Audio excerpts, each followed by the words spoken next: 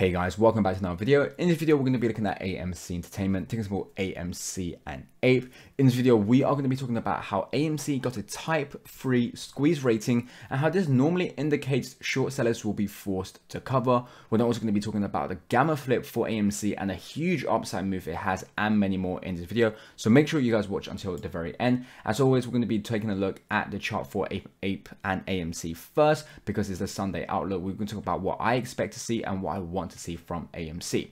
So going off of last week, like we talked about, it was closed at 0% movement for the last day. But nevertheless, if we look at it from a weekly perspective, it was still a very good close. We closed above the previous high, the previous um, close of the week. We closed above the previous high of the week and we closed above 596 which was a pivotal zone for AMC and so normally when we see breaking this zone we are of course seeing upside movement which is exactly what we saw.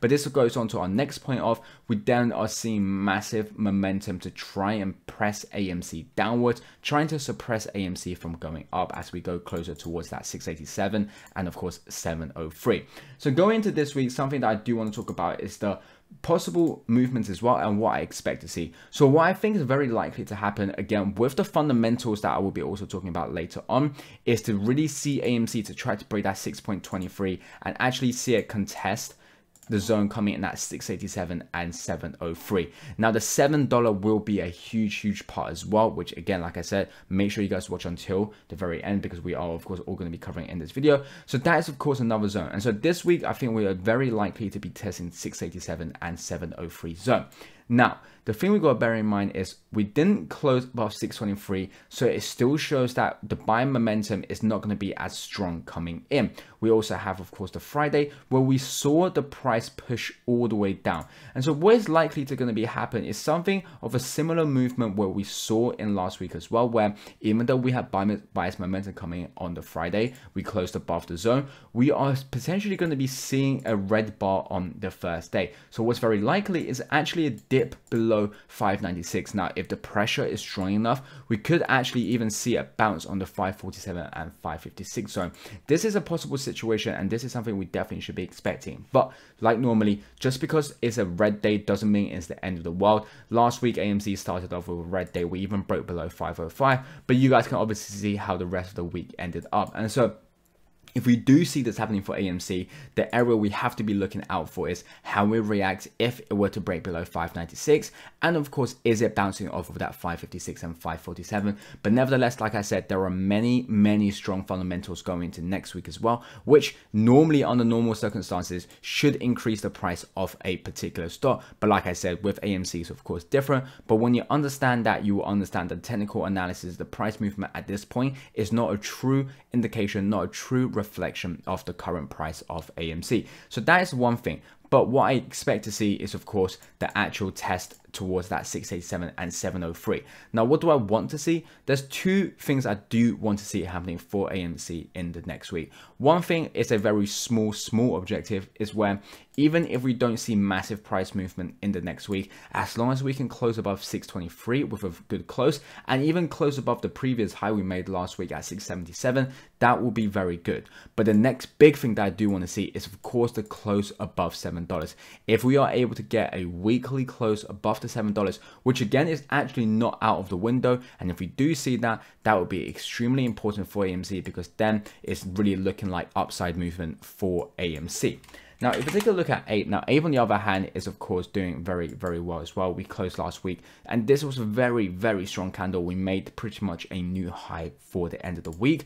We closed above the 279 and 276 zone, which was another area of resistance that was stopping price previously for Ape, but now we're breaking it. So the next movement, what we're likely to be looking at is of course the test coming in at the two, the 335 and 343. And so do be expecting resistance as we go close towards that area. But if we are able to break above that area, the next sort of resistance that I think we'll be looking at will be somewhere close around 383 and $4 area. It, if we take a look back at previously and look at this area over here, we can see that there was a lot of volatile movement. We can even see this particular candle, of course, seeing a massive wick bar. So there is a lot of volume. There is a lot of orders in this area that we are currently facing but if we are able to break above it, it will obviously be smooth sailing for APE. And like I said, it is doing its way to catch up the price with AMC. Right now, APE is at 301 and AMC at 608. So there's still a difference of $3.07 in between. So do, of course, bear that in mind. But let's take a look at the news for AMC going to next week, which I think is very, very important. Now, the first thing we have is from Frank's Place. So what he talks about is AMC stock yesterday got a short squeeze type 3 rating. This on average only happens three times per year. This happened in March, August, and November, and that same signal happened Friday. Ortex gave AMC a Type 3 short squeeze rating, the highest rating you can have. Now, if we take go down and look at what a normal type 3 short um, squeeze is. So in a type 3 short squeeze, the short squeeze is initiated by a combination of factors, including an increase in buying pressure, rumors of speculation about the company, and an increase in the overall demand for stocks. So when we take a look at this, firstly, buying pressure is checked. Rumors or speculations about the company is also checked, and increase in the overall demand for stocks is again always been there. This results in a rapid increase in the stock price, which forces short sellers to cover their positions, which inputs further upward pressure on the price. This type of short squeeze can be volatile and can result in significant losses for short sellers and huge gains for long investors. So that's the current situation we are faced with AMC right now. Now, this is of course a very, very good thing because again it shows how strong AMC is. So what we're likely to be looking at with this is of course like he says again a snowball effect. So what we understand is that when short sellers cover we see the price of course going up and when the price goes up this now forces a new batch of short sellers to, of course, cover, and that pushes the price up even higher and higher and higher, and eventually, of course, keep on going all the way up, and of course, creates a snowball effect. Now, also bear in mind, if the short squeeze were to happen, obviously, people will not be selling at seven dollars, at nine dollars, at ten dollars. People are going to be selling at a hundred, a thousand, ten thousand. Comment down below at what price you guys are going to be selling at if AMC squeeze or when AMC squeezes, because that is, of course, a very important question. And when you understand that of course you understand what sort of movement we are going to be seeing from AMC. And so that is of course very, very good. And again, like I said, this is only going to mature through the week. We're only going to see this actually bring up more fundamentals and more catalysts. And again, see a lot of volume come in because of this. So I'm very, very excited about this. And I do think that this is definitely going to be affecting the price of AMC throughout this week as well. Is why I said, you know, in terms of seeing more upwards movement from AMC right now, despite how the candle, of course, ended on Friday. If you take a look, look at the next news is from This Is Orlando. So he talked about flow is hedging for a big upside move. $7 is where Gamma flips. A lot of low delta institutional volume back in January 2021. Same thing happened last week. Let's take a trip back in time to, to the end of Jan. Look at 129 and 25 options chain back then. Of course, like I said, all of these tweets will be down in the description if you guys want to take a look for yourself. But what he's saying, of course, is $7 is where the Gamma flips. So if we are able to get above $7, we are looking at huge upside move for AMC.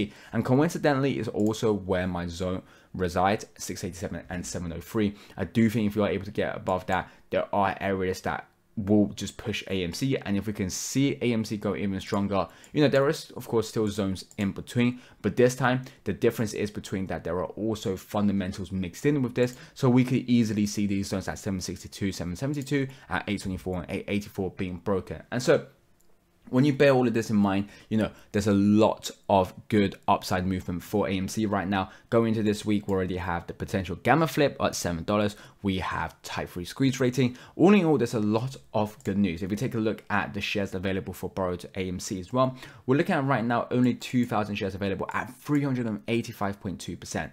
Now, bear in mind, the cost of borrow is only going to keep getting expensive as we go throughout the week, as we go through the next few days, next few weeks, next few months. And so again, these hedge funds are going to be finding them more and more difficult in order to be finding shares to be shorted against AMC, at least real shares of AMC. What they of course need to do is of course create more synthetics, but that we know is going to create a lot more trouble for them. And so the cost of borrow is only going to be increasing. And when you take a look at AMC right now, and you bear in mind type 3 squeeze rating, we talk about the gamma flip, we talk about how little shares they are, and not only that, how expensive they are. So many catalysts is adding up for AMC right now and really showing, you know, how well AMC is going going to do. So when, again, taking a look at AMC, even though the candle ended like this, even though the technical analysis normally dictates a bearish movement coming in, which again, we also put that into perspective, is the potential break below the 596 and coming into test at this zone of 546 and 547. But we have so much fundamentals that when fundamentals are strong enough and these are important fundamentals which they are they easily trump technical analysis and they can bring the price of amc up. Anyway guys comment down below what you guys think. I hope you guys enjoyed the video. If you guys did make sure to press the like and subscribe button down below and i'll catch you guys next time